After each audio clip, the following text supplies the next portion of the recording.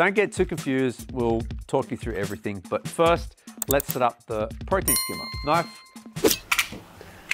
Let's open the protein skimmer. Have you ever opened one of these before or used a protein skimmer before? Never. I've opened boxes before, if that counts. So what a protein skimmer does is it removes organics from the water and proteins, obviously. It helps with oxygenation as well and removes your nutrients, so nitrates, phosphates, things like that. Gotcha. Cool. That's super like techie almost. It's like a filter. It's a big filter mixed with a Artemia blender. Hmm? That's how it looks, at least. This is uh, it's it's it's a mixture between chemical and mechanical filtration. Obviously, your filter socks and things like that is more your mechanical filtration, but this does aid in that as well. How's the electrician going slow? That was a long screw. It's true. They're all the same. Okay, so open the lid there, pull it out, yeah, remove the cap. Cool, so that is called a bubble dispersion plate. It will disperse the bubbles. Ah, yeah. Duh. I could have guessed that one. Yeah. So this is the pump.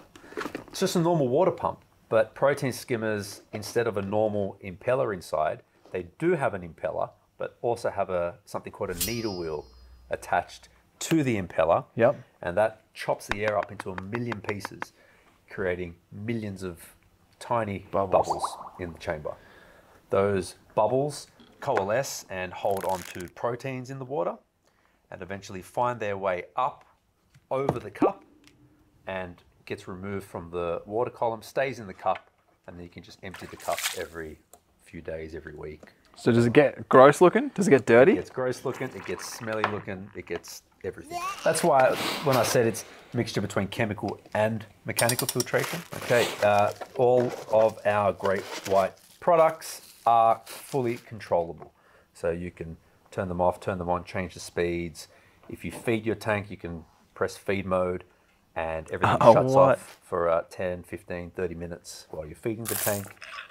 All sorts of stuff. All right, so you start by undoing the locking ring. Yep. Nice job. Undid that way too well. This then screws onto, through that. or this screws onto the pump. That's it. Then the dispersion plate goes over that fitting there. So this black dispersion plate. Does it? That's it. That's it. It's fine. Turn it around like that, and then your little locking ring threads onto there. That's it. How's that? Don't don't have to go too tight, but that's perfectly fine. Now you put the cap on, line up the two screws or the three spikes in there. That way? Spokes, yep. As long as they all, all three line up. Screw it down again, just firmly, not, Not too super, much. super tight. That's it. I feel like it needs to go more. no, that's it. That's perfect. Perfect. Okay. Okay, so we're going to now install the pump. You'll see that water is discharged from here, but it comes in through here. So what you want to do, you want to lift the body of the skimmer. Does it separate? Yeah, yeah, yeah. There we go. And you want to put your pump. There's a little groove cut out there for the cord. So you want to sit it like that. And yeah, it's got a groove Right. there too. Yep, exactly. So line them up. You just hold the cord. Yep. You don't have to be gentle. Just kind of force your way down. Yep.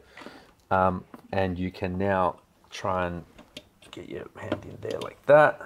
So it comes out the side. All right, and you got to put the union on the skimmer as well. It came off. Now, how does it bring in air from outside of the tank? Venturi. Oh Jerry, yeah. you need to push it through the hole and also push it onto the pump as well. Gotcha. If you can. And you can do a little bit of that by putting your hand in and if you can fit. Um, but Does it screw or no, is no, it just, push? straight in? That you can push quite tightly, but doesn't again doesn't have to be super tight. Is that in enough? That's perfect. Get it done. Easy. And this is this goes on top. It does, yep, but that's the last thing we do. All right. So now you also can, actually, there's feet to put on the pump.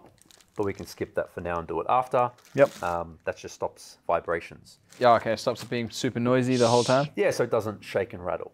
Does it have to be tight because it's it needs to be watertight basically? This, yeah, it does. Not, not again, not super tight. Nothing has to be super tight. Hand tight. Now you are going to get the airline tube, and you're going to thread it through the ring of the body Yep. into the hole of the venturi, Yep. and the other end is going to go into the input under the screw. There's two inputs, yeah? Yep. One's air coming in, one is air going out. Up, yep.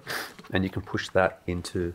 Now, most protein skimmers have what's called a silencer or an air silencer. Yep. The great white, and it's external. The great white skimmer has the air silencer built into the neck. So you don't have this big, bulky um, air silencer hanging off the side. That's this. That's yeah. So this will draw in air through the pump and then expel air through the other tube. And that's how you can control the airflow. All built into the neck. Less airflow, more airflow. Exactly. Gotcha. That goes there. Again, the, the airline doesn't thread into the venturi either. It just sits in there. Yep. Nothing on this skimmer is meant to be tight and rigid because you do get buildup of detritus and coralline algae. Um, so the more flex there is in each individual part, the easier it is to clean. Nothing gets cemented together. Right. That is how you set up the Great White Protein Skimmer. You just need to put on the cup now. You need to line up the teeth with the teeth here. And then you go clockwise to lock. Again, not tight. That's perfect. That's the Great White Skimmer. That's a good looker. Oh yeah. So now talking through the skimmer, you have your discharge pipe. That is the amount of internal water inside the skimmer. Yep. The more water that's in the skimmer, the higher the water level internally in the skimmer. What's, what's that? That's the discharge pipe. So as you Duh. turn this, it'll open and close a gate valve Ah, yep, yep. allowing more water to escape Yep. or less water to escape. So when you find your perfect water, internal water level, you could then lock it with the black O-ring that's supplied so it won't float in the water. Smart. Okay, so you have three ways of tuning the Great White Skimmer. You've got the discharge that we just spoke about. Mm-hmm. You got the controller, uh, which sets how fast the pump is turning over the water, just like a normal flow on a pump. Yep. And you have the air intake as well. More air, less air. With a protein skimmer, you just don't want everything full blast. There is tuning that comes with it. Uh, different columns of water have different proteins, different biological and chemical reactions happening. So every skimmer tunes differently. Okay. So it's not really like a freshwater filter because I just crank that up to max, and as long as it's not a Yeah, it's chilled not, out tank. It's not really about water flow. It's more about air water balance. Gotcha. Okay. So there's no, There's some more finesse to it. there is more finesse, and there's no silver bullet.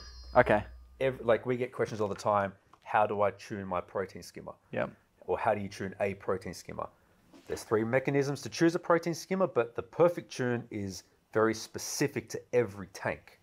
And that's what you need to find the balance. And as you put your hands in the tank and as the tank matures, that's going to change. And then when you have a mature tank, that's when you know you can set and forget. Okay. But that is one of the most important parts of a reef tank. It's not 100% necessary. Lots of reefers do tanks without skimmers, but it's a very, very high minority because it's an inexpensive item, adds oxygen, removes all sorts of waste. Yeah, it's a no brainer to use.